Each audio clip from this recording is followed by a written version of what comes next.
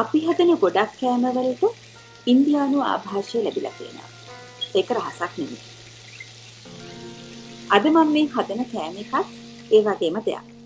විශේෂයෙන්ම කේරළ ජනතාව මේ ආහාරය මිරට ටිකක් වෙනස් විදිහට හදනවා. ඉතින් මම මේක අපේ රසයට දිවට ගැලපෙන විදිහට සකස් කරලා තමයි අද උගුල්ලන්ට මේ රෙසිපිය ගේන්නේ. මේ තමයි මං හදන කරවල මැල්ලුම.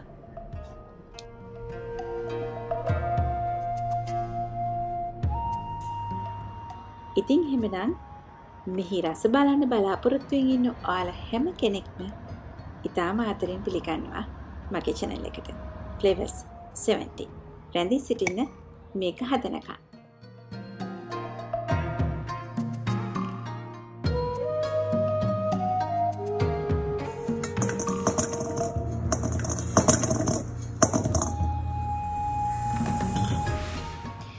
මං අද තෝරාගත්තේ තලපත් කරවල මේක කටු රහිත නිසා මේ විදිර හදන්න හොඳටම ගැලපෙනවා තලපත් කරවල.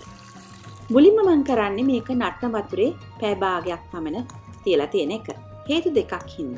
එකක් තමයි මේ කරවලවල තියෙන අධික ලුණු ප්‍රමාණය ඉවත් කර ගැනීම පහසුයි ස්වභාවිකවම පහසු වෙනවා උණු වතුරේ දාලා තිබ්බහම. දෙවෙනි කාරණාව තමයි මේකේ තියෙන තද ස්වභාවය අඩු කරලා melek Karaganekar.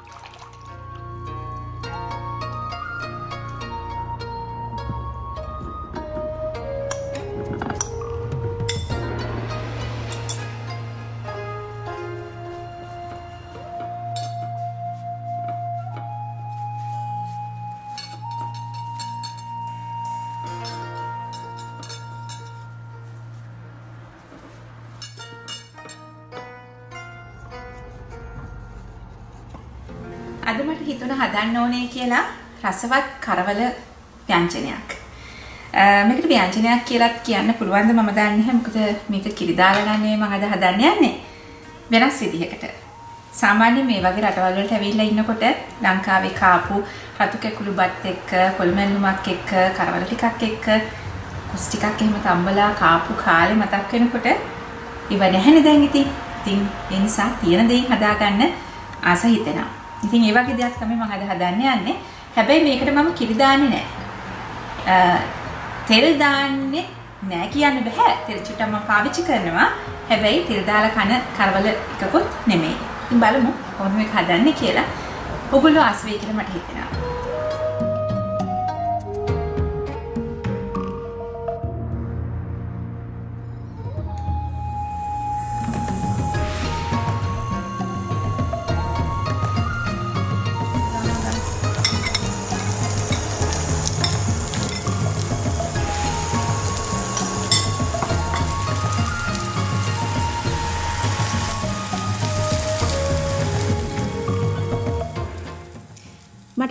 ඉස්සර මේ විදිහට හදලා බෝතල් වලට දාලා පිටරට එහෙම යනකොට අරයි යන්න ඉතාම පහසෙන් අම්ම හදලා දෙනවා.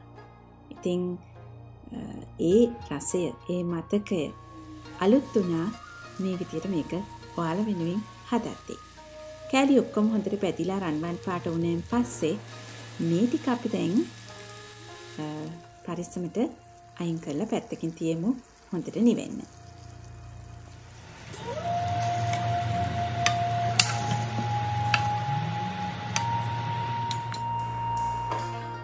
අපි දැන් හදන්නේ මැල්ලුමක්නේ. මැල්ලුමකට අත්‍යවශ්‍ය දෙයක් පොල්. ඉතින් උගලට පුළුවන් ෆ්‍රෙෂ් කොකනට් එහෙම නැත්නම් ඩෙසිකේටඩ් කොකනට් මේකට පාවිච්චි කරන්න. මම අද පාවිච්චි කරන්නේ ඩෙසිකේටඩ්. මේකත් හැබැයි මම මේ විදිහට වේලුණු කබලක නැත්නම් වේලුණු පාචනයක පෑන් එක රන්වන් පාට වෙනකන් පැත ගන්නවා.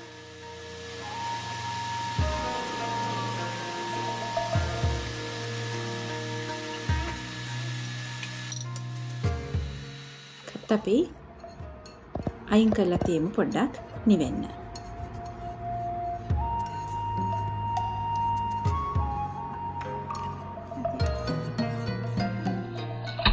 ඊළඟට සුදුලූුණු. සාමාන්‍ය මං සුදුලූුණුලු ගොඩක් ප්‍රිය කරන කෙනෙක්නේ. හැබැයි අමතක් කරන්න පා මේකත් මම ගන්නේ පොට්ටක් රන්වන් පාට වෙනකම් පැතලා. ඒකත් බෙදුනෙන් පස්සේ මං එකතු කරලා තියෙනවා කරවල පාචනයට දාලා. පොඩ්ඩක් නිවෙන්න අරිමු.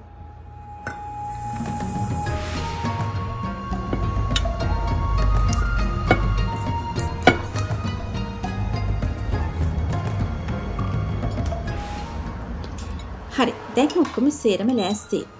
මම පාවිච්චි කරන්නේ කරවල බදින්න ගත්ත තෙල් ටිකම තමයි. ඔන්න එහෙනම් කරපිංච අහුරක්ම මම දැම්මා. දැන් අපි පටන් ගමු.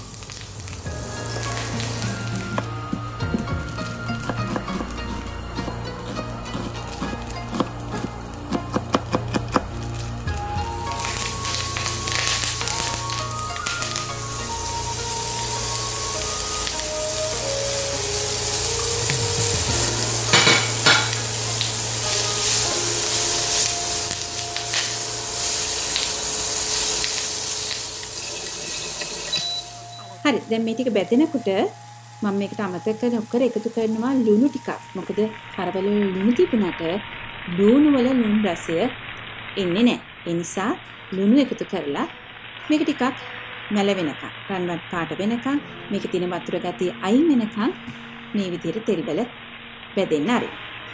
ඒ අතරේ මම බෙදගත්ත කරවලයි සුදු ලුණු ටිකයි මේ වගේ හොඳට කෙටෙන ග්‍රයින්ඩර් එක දාලා කොටා ගන්නයි හදන්නේ.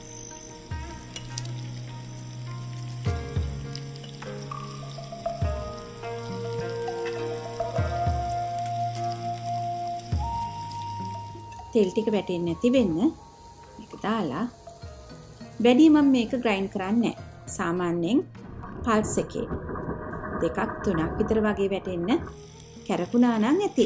මේ බලන්න මෙච්චරයි කරෙන්න ඕනේ. තේනවනේ?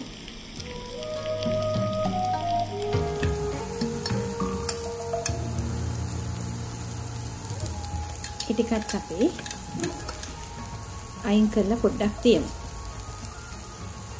තියලා මැලවිලා දැන් ඔන්න මගේ ලුණු ටික දැන් මම මේකට රස කරන දේවල් ටික එකතු කරනවා. කෑලි මෙරිස්. ඔයාලට සැරට ඕන ප්‍රමාණයට මේක දාගන්න පුළුවන් මන් ටිකක් වැඩිපුර සැර ප්‍රිය කරන කෙනෙක්.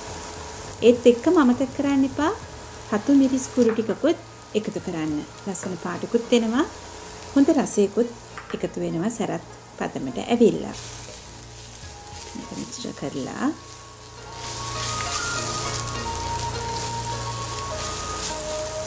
ලිප අඩු ගින්දරේ තියාගන්න මේ වෙනකොට දැන් මේකට එකතු කරනවා මම රෝස් කරගත්ත අපි කබලි බැදගත්ත පොල් ටික.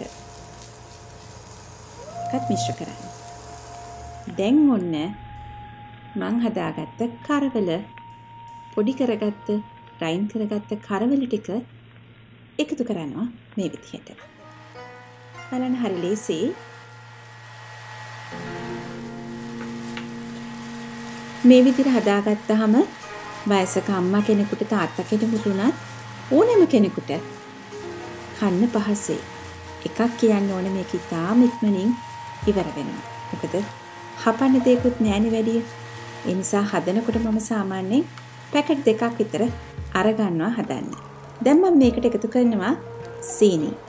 සීනි චුට්ටක් එකතු කරාම එන රසය තවත් වැඩි.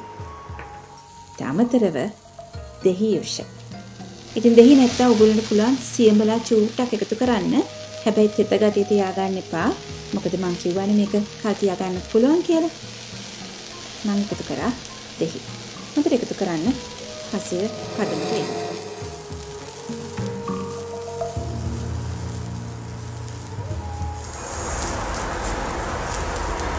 මෙච්චරයි ඉතින් මේක කරන්න තියෙන්නේ.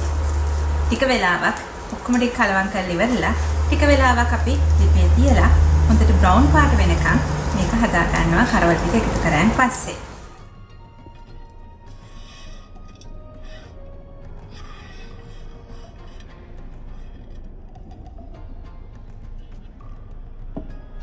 ඉතින් හදලා බලන්න මේකට වෙන මුකුත් අවශ්‍ය වෙන්නේ නැහැ. මම නම් හරි ආසයි මේක හොඳට කිරි සහිත එළවලුවක් එක්ක හෝ එහෙම නැත්නම් කිරි පොද්දක් එක්ක රතු බත් ටිකක් එක්ක මේක දාගත්තා නම් වෙන මොකුත්ම අවශ්‍ය වෙන්නේ නැහැ. තවත් දවසක Flavor 70 එකෙන් තවත් රසවත් කෑමක් ඔයගොල්ලන්ට ගේන්න.